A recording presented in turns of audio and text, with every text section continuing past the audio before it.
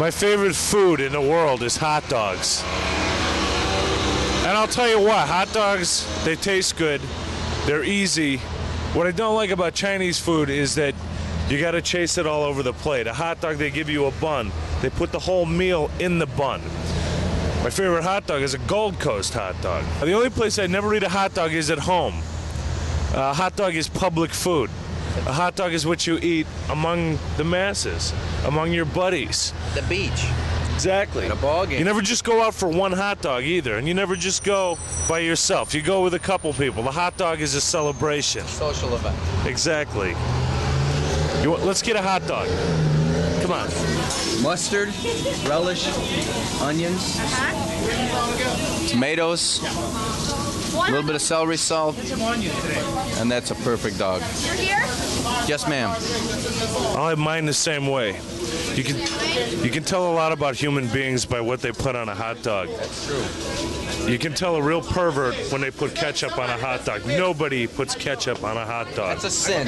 That is a mortal sin to put ketchup on a hot dog. You can tell a lot, a, a lot about people by how they serve a hot dog as well. Gold Coast, everybody's thrilled to death to serve hot dogs. Look at that. Look at that grill.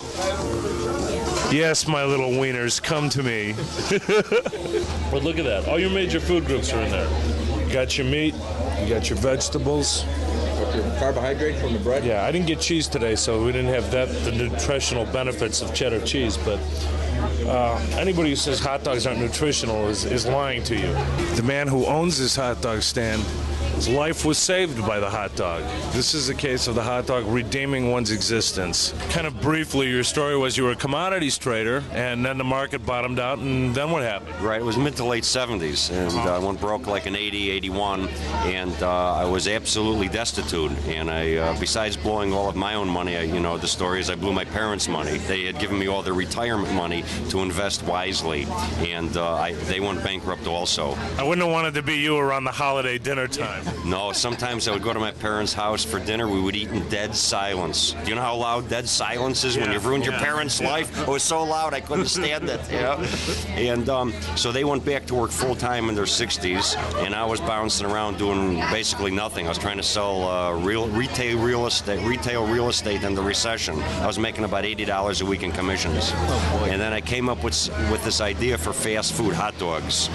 And years and years ago, I once asked someone for some business advice, and they told me, don't try to reinvent the wheel. Don't go around and try to convince people to eat with a one pronged fork. It's too hard. Take a regular fork, make it better or cheaper or both, and then people will buy it. Because you know that people use forks. So I picked hot dogs, but I wanted to separate from the herd. There's 3,500 hot dog places in Chicago. So I decided to elevate the hot dog to like a gourmet status and to give real good service and make it fun to come in. Now, Barry, what's with the salads? You know, I was in line and some woman behind me was going, I can't eat hot dogs. They put all kinds of creepy things in them. It makes me sick. So I, I'm getting a salad. I recommend that. You're getting a salad at a hot dog place?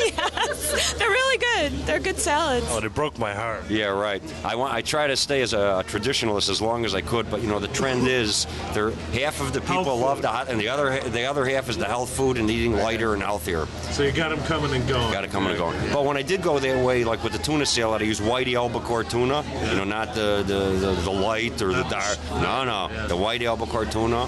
And for the chicken, it's not frozen, boneless, skinless chicken breasts. So when I did go a little bit healthy, I went the best I could. If you had one food you had to live on your whole life, what would it be? Hot dogs. Hot dogs, what else? Exactly. Hot dogs. Is there ever any doubt?